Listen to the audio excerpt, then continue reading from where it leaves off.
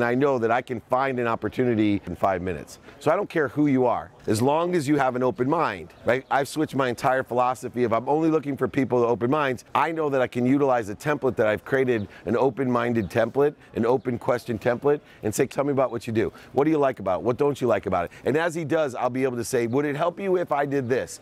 Providing value, creating a void for him to fill. Oh, would it help you if I do this? I know a babysitter. I, oh, you need a new bike? I know that. And then I have an open mind and I only have to ask him one question. Do you know anyone that can help me? If somebody has a closed mind, it's easy to tell by open-ended questions because they won't answer you. You'll know that you're bothering him. How are you doing today? Fine. What do you do? Nothing. What are you going to order? I don't know. Those are closed minds. Run the fuck away. It'll take you a thousand times the effort and energy to transition the interest of a closed mind than it does an open one. You don't care what they do. There is no specific avatar anymore for your business. The only avatar I have is an open mind, and then from there, I need to qualify them as two things. One, a sponsor.